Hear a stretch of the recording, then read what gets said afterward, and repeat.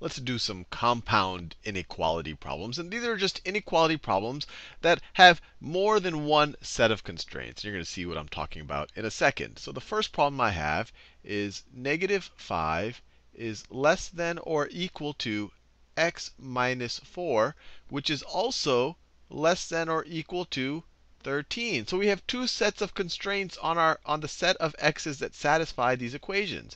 X minus 4 has to be greater than or equal to negative 5, and x minus 4 has to be less than or equal to 13. So we could rewrite this compound inequality as negative 5 has to be less than or equal to x minus 4, and, and x minus 4 and x minus 4 needs to be less than, less than or equal to 13. And then we could solve each of these separately. And then we have to remember this and there to think about the solution set. Because it has to be things that satisfy this equation and this equation. So let's solve each of them individually. So this one over here, we can add 4 to both sides of the equation. Let's add 4 to both sides of the equation. The left-hand side, negative 5 plus 4, is negative 1.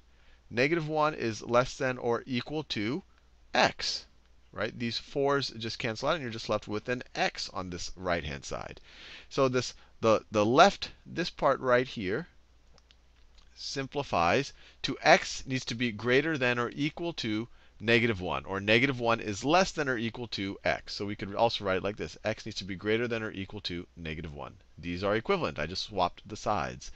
Now let's do this other condition here in green. Let's do this other condition over here in green. Let's add 4 to both sides of this equation. Let's add 4 to both sides of that equation. The left-hand side, we just get an x.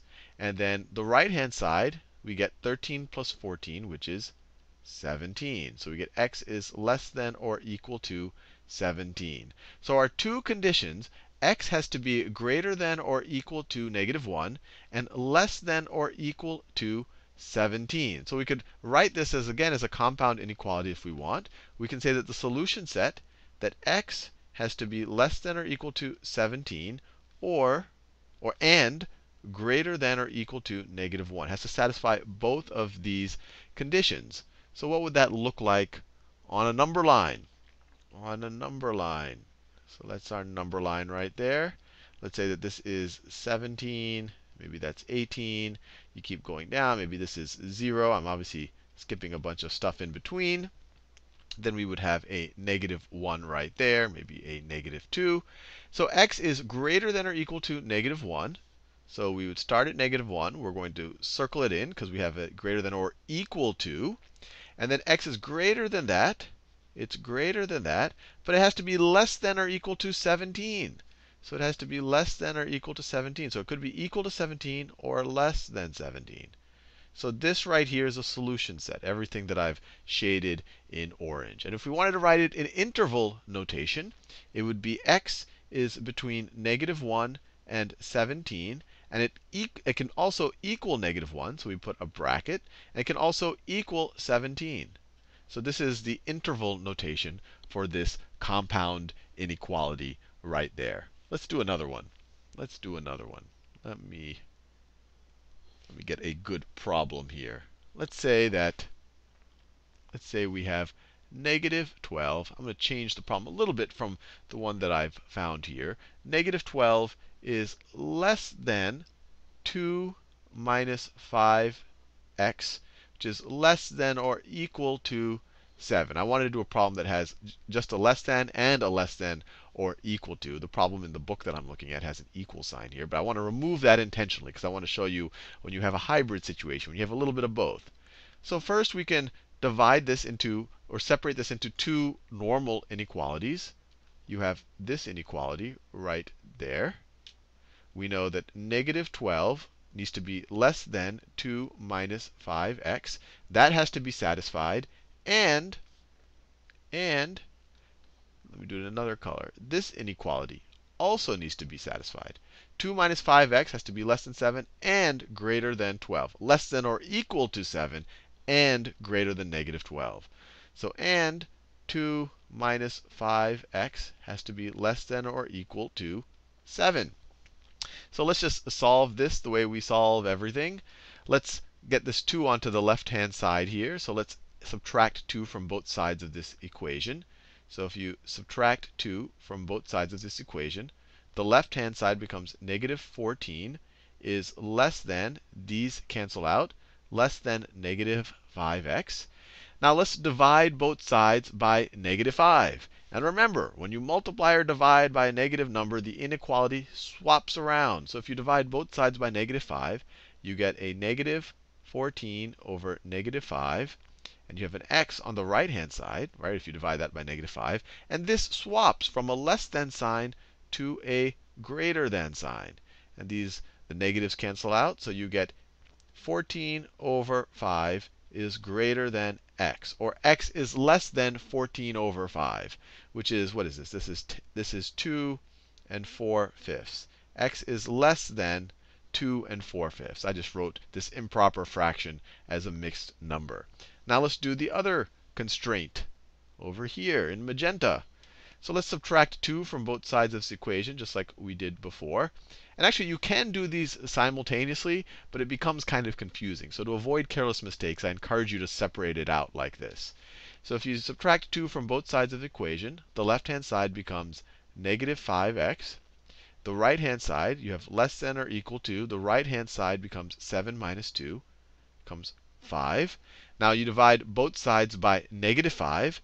On the left-hand side, you get an x. On the right-hand side, 5 divided by negative 5 is negative 1. And since we divided by a negative number, we swap the inequality. It goes from less than or equal to to greater than or equal to. So we have our two constraints. x has to be less than 2 and 4 fifths, and it has to be greater than or equal to negative 1. So we could write it like this. X has to be greater than or equal to negative 1. So that would be the lower bound on our interval. And it has to be less than 2 and 4 fifths. And x has to be less than 2 and 4 fifths. And notice, not less than or equal to. That's why I wanted to show you. You have the parentheses there, because it can't be equal to 2 and 4 fifths. x has to be less than 2 and 4 fifths. Or we could write it this way. x has to be less than 2 and 4 fifths. That's just this inequality, swapping the sides. And it has to be greater than or equal to negative 1. So these two statements are equivalent. And if I were to draw it on a number line, if I were to draw it on a number line, it would look like this. So you have a negative 1. You have 2 and 4 fifths over here, 2 and 4 fifths. Obviously, you'll have stuff in between, maybe you know 0 sitting there. We have to be greater than or equal to negative 1. So we can be equal to negative 1, and we're going to be greater than negative 1. But we also have to be less than 2 and 4 fifths. So we can't include 2 and 4 fifths there. We can't be equal to 2 and 4 fifths. So we can only be less than. So we put a empty circle around 2 and 4 fifths, and then we we fill in everything below that all the way down to negative 1. And we include negative 1 because we have this less than or equal sign. So the last two problems I did are kind of and problems. You had to meet both of these constraints. Now let's do an or problem. Let's do an or problem. So let's say I have these inequalities. Let's say I'm given, let's say that 4x minus 1 needs to be greater than or equal to 7, or, or 9x over 2 needs to be less than 3. So now when we're saying or, an x that would satisfy these are x's that satisfy either of these equations. In the last few videos, or the last few problems, we had to find x's that satisfy both of these equations. Here, this is much this is much more lenient. We just have to satisfy one of these two. So let's figure out the solution sets for both of these, and then we figure out essentially their union, their combination, all the things that will satisfy either of these. So on this one, on the one on the left, we can add 1 to both sides.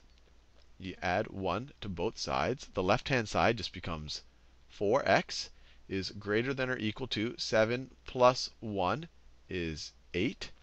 Divide both sides by 4. You get x is greater than or equal to 2. Or or let's do this one. Let's see, if we multiply both sides of this equation by 2 ninths, what do we get? if we multiply both sides by 2 ninths. It's a positive number, so we don't have to do anything to the inequality. These cancel out, and you get x. x is less than 3 times 2 over 9. 3 over 9 is the same thing as 1 over 3. So x needs to be less than 2 thirds. So or x is less than 2 thirds. So that's our solution set. x needs to be greater than or equal to 2 or less than 2 thirds.